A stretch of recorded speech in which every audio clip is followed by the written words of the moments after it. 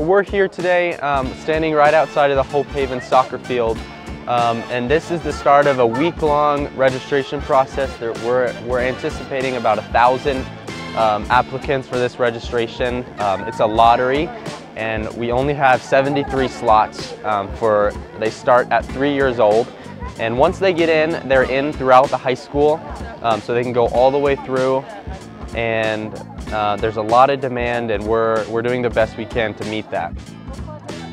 So I'm with Sarah Damour. She's coordinating this entire lottery process. Um, so I want to have her say a few words about it.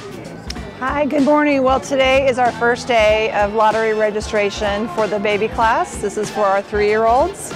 And we've already had an overwhelming response of probably about 350 people this morning, and we still have six more days of registration to go. So uh, it's just overwhelming, but it's a huge blessing that we can serve this community.